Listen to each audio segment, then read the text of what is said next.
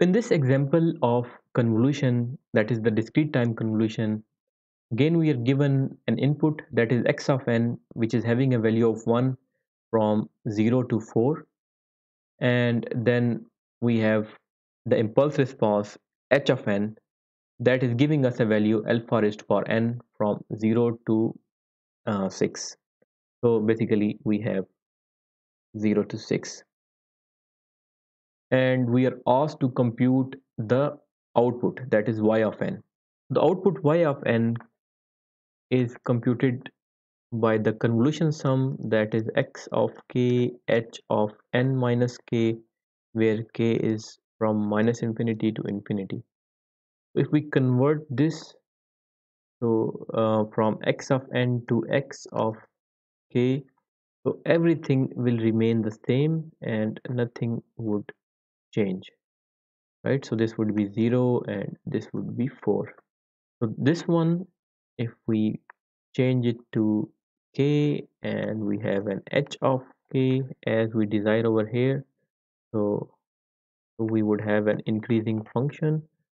This would be 6 and you would have values from 0 to 6 but h of minus k that we need from here so this would mean that we have a 0 here and then on the other side we would have we would be getting an increasing value. So this would be minus 6 but what we actually need is we need h of n minus k.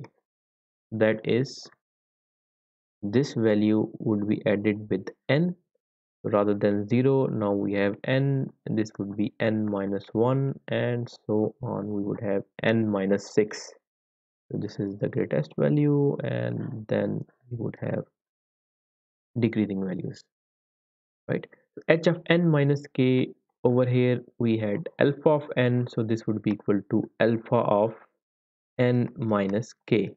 That is if you change the argument from n to n minus k so the uh, the value of n over here. Would change to n minus k uh, for this function.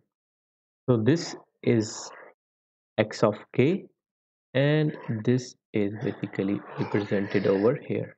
These are the two functions that we need. Since we have flipped the impulse response h of n over here right?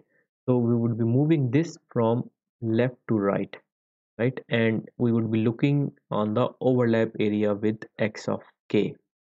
So one way to do is uh, you change the value incrementally that is you set n equal to uh, minus say 5 then minus 4 minus 3 minus 2 and onward. But that is going to take a lot of time. So it would be convenient if you make a subset of values and then use some intuition to develop the summation function. So this uh, is something that we're going to do next. Now this function is expressed over here and similarly this function is expressed over here. As the first step if the value of n is less than 0 so this means that there is no overlap right? If there is no overlap so this would mean y of n is equal to 0. In short, we have covered all the values from minus infinity to minus 1. Next, uh, we are going to say that n is greater than or equal to 0. That is, now we are moving away from the negative values and we let the value of n cross the 0 barrier, but we limit it to 4. Right? Why do we limit it to 4? If the value of n goes beyond 4, so this would mean that you would have some values which are overlapping and some values which are not overlapping right? So this summation function we would not be able to develop. As the first step we let this h of n minus k move towards right that is cross the zero boundary but we fix the header that is n to be less than or equal to 4 that is n is less than or equal to 4 so in other way we can write 0 is less than or equal to n and is less than or equal to 4 so the output y of n in a summation form. Now this is a very important summation. Again we would have x of k h of n minus k. But right now the summation is not starting from minus infinity. In fact it would be starting from this point why is it starting from this point? Because anything less than this point is zero right? So we can start at zero. But importantly where is this summation terminating? If we say it is terminating at 4 this means that this has moved until the fourth point that is 0 1 2 3 and 4 but that is not the case h of n minus k is moving incrementally towards right side and it is locked until fourth value right? So by which symbol it is increasing it is increasing by the symbol n where n is locked until 4 right? So rather than writing 4 which would be wrong we have to write n right? But note that this n is locked from 0 to 4 right? So the summation if the value of n is over here. If the value of n is over here so this means that this one value which is over here now would only be multiplying with one value. So you won't have summation per se. You just have multiplication of two discrete values. In the present case we have these three values that is 0 1 and 2 they are multiplicating with 0 1 and 2 these three values 0 1 2 and 3 so the summation would be until 3 but that summation can go on until uh, the value of n which would be less than or equal to 4 so by this summation we have covered five values of n Again, I would reiterate that it is very important to find the range and the summation. So until here, we have covered from minus infinity to 4, right? So naturally, we would move n greater than 4. So if n is greater than 4, so this means that if this is greater than 4, so this is moving in this direction. It is leaving 4. This is actually represented over here 0 1 2 3 and 4 so fourth value is over here and it has left it so the header has left the value 4 but at the same time we are going to lock the tail which is n minus 6 to be less than 0 so why do we lock the tail to be less than 0 or less than or equal to 0 if n minus 6 goes beyond 0 right so we would have some non-overlapping region between x of k and h of n minus k. So this is the reason we let the header or the head pass the value 4 but we uh, keep n minus 6 locked to 0 so other way around we can write 4 is less than n which is less than or equal to 6 and hence the output y of n. Again it would be a summation x of k h of n minus k in this range whether you set n equal to 5 or 6 right? So these are the only two options when you set n equal to 5 or n equal to 6 so in both cases all of this would be overlapping with this. This means that our k is starting at 0 and it is terminating at 4 this is because in this range of n, x of k and h of n minus k are always overlapping. So note the difference when n was between 0 and 4 and when n is 5 or 6, right? So we had a termination point in terms of a symbol n and over here we have a crisp value that is 4. So next when the tail n minus 6 leaves 0, n minus 6 is going to leave 0, right? beyond this point so this would be moving towards right but at the same time I would like my n minus 6 that is the n minus 6 which is the tail of x of h of n minus k to be locked with the last value of x of k. And the last value is 4 so I would let it move towards right but lock its tail to the terminal value of x of k. That is n minus 6 locked to 4 or other way around we can write n is greater than 6 and this would go over here n is less than or equal to 10 now interestingly what is going to be the summation? So let's start with the terminal value. We know that if it is moving towards right this point is going to come into play because we are locking n minus 6 to 4 right so if we are moving towards right direction the summation can go up to 4 and beyond 4 the values are 0 so this summation is 4 terminating at 4 but what is the starting point? Like we have a symbol value over here the summation is going up to n. Similarly the tail value n minus 6 is incrementally increasing towards right right? So this summation is going to start from n minus 6 and is going to terminate at 4 so n minus 6 is moving towards right. As it moves towards right the overall summation or the number of terms that would be summed up would become less and less. We would have only one summation when n minus 6 is equal to 4 that is this term comes over here and n minus 6 this term overlaps with the last term over here right? So that would be just one value or one uh, one term but no summation but anything less than that we would have two or more terms that would be summed up. Lastly when n minus 6 this goes beyond 4 right? n minus 6 goes beyond 4 that is n is greater than 10 if it goes beyond 4 there is no overlap between x of k and h of n minus k.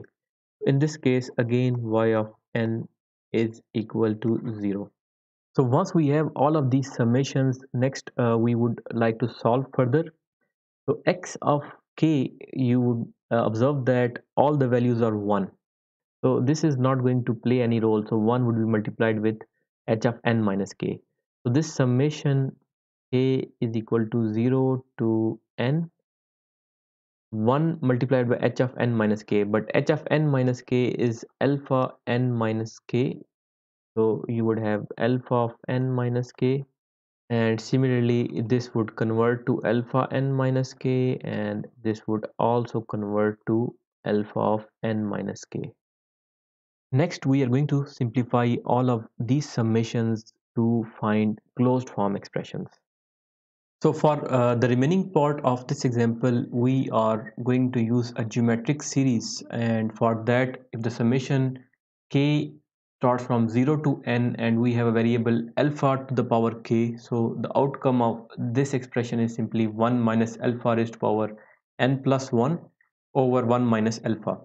So previously we had five cases. The first case was when n is less than 0 and in that case the output is 0 then we have a case 2 when n is between 0 and 4 case 3 when n is greater than 4 and it is uh, limited to 6 next when n is greater than 6 and it is limited to 10 and finally the fifth case is when n is greater than 10 so for n greater than 10 again it's 0 so for these three cases we have to solve further and we have to get out of this summation right? So we have to find a closed form expression so uh, previously in case 2 we uh, stopped at k 0 to n alpha n minus k. So note that this summation belongs to k, right? The variable of summation is k and not n. We can extract out n alpha n from this summation. This is something that we have done over here. We have extracted alpha raised to power n over here and rest of the summation is expressed over here that is k 0 to n alpha raised to power minus k so we have uh, wrote alpha raised to power minus 1 and then whole thing is k right? So this thing is expressed over here and alpha power n is uh, moved out of the summation right? But note that this whole thing is actually a geometric series. We can solve this by means of a geometric series. This expression is solved uh, by means of geometric series to obtain 1 minus alpha power minus 1 to the power n plus 1 which is coming from here. And similarly in the denominator we have 1 minus alpha raised to power minus 1 right? So this gives us uh, the expression that uh, that we desire for the second case right?